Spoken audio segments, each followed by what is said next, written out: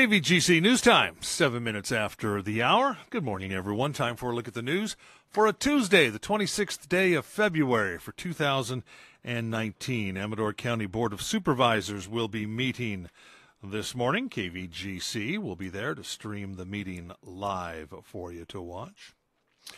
Well, in the news today, facing criticism from the public, the Jackson City Council has backed down from a proposed ordinance that would have made property owners equally liable for accidents on sidewalks in front of their properties within the city. At their meeting two weeks ago, the council approved a first reading of an ordinance that would have property owners sharing responsibility when poorly maintained sidewalks resulted in accidents. The proposed change came at the suggestion of the city's insurance company following a claim against the city last year.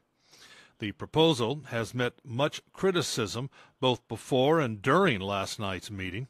Several Jackson residents, during public comment last night, complained about being made responsible for sidewalks that they don't own, control access to, or can alter without the city's permission.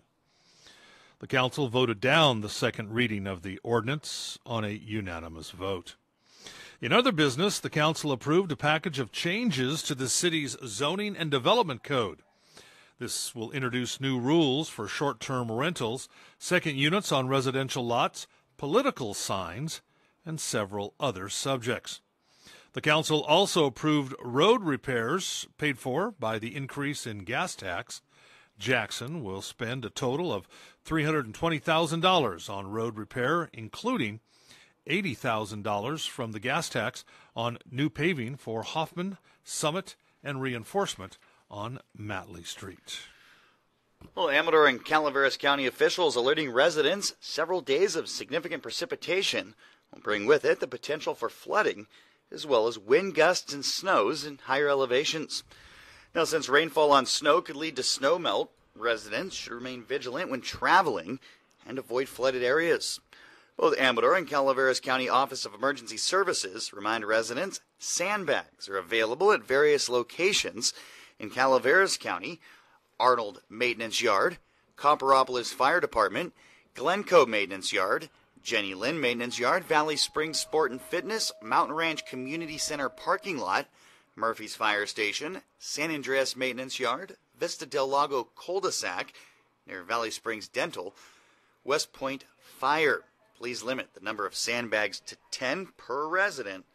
And remember to bring your shovel. Contact Public Works in Calaveras County at 754 6401 with any questions. And the Amador County Sheriff Office of Emergency Services reminds residents of Amador County sandbags. The counties will provide bag, or excuse me, the county will provide bags and sand to Amador residents with a suggested 20 bag limit on a self serve basis. A pile of sand and bags located in the airport parking lot near the County General Service Administration building on Sutter Hill.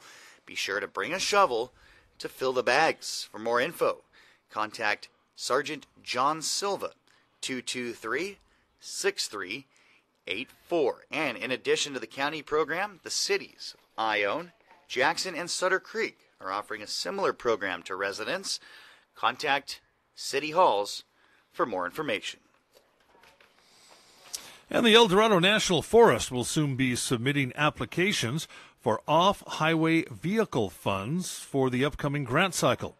The forest is developing uh, primary application forms that will include a strong emphasis on trail maintenance and repair, law enforcement across the four ranger districts, printing and distribution of motor vehicle use maps, and education.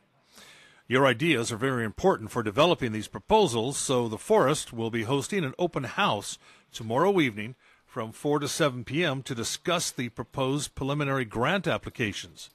This open house will be held at the El Dorado National Forest Supervisor's Office in Placerville. Now, in the past, the Forest Service have used these grants to address trail repair and cleanup of downed trees on over 300 miles of off highway vehicle routes and for law enforcement patrol on an additional 900 miles of native surface roads on the forest. They've also used monies in the past for planning development and restoration activities. Now, once this uh, grant preliminary grant is completed, the application will be available for review and comment by the public later in March. Well, over the past two weeks, the average price of a gallon of regular unleaded gas has increased by 10 cents. Industry analyst Trilby Lundberg says the jump follows a rise in crude oil costs. However, the price still 15 cents below this time a year ago. The national average is 244 a gallon, but much higher here in California at 327 per gallon. Now the KVGC gas survey shows regular unleaded selling in Amador County between 289 and 355 a gallon, in Calaveras County between 287 and 299. The lowest average price in the nation, Baton Rouge, Louisiana, $2 and 3 cents a gallon. And a quick reminder for you that the Calaveras County Planning Department will be hosting a, a, workshop again tonight. This is geared towards improving housing opportunities within the county's uh, general plan update. Tonight's meeting will be held at 6 o'clock, Mountain Ranch Community Center. Now, the idea of the meeting tonight is to gather information from people working on housing issues or that have concerns about housing needs in their communities so they can be incorporated into the Calaveras County general plan. And that's a look at local news on this Gold Country Tuesday morning.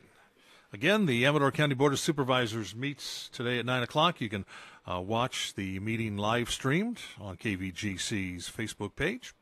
From the KVGC News Center, I'm JD. And I'm Jim Geedy reporting. Remember, for the latest news, traffic, and weather 24 hours a day, be sure to visit our website. That's kvgcradio.com.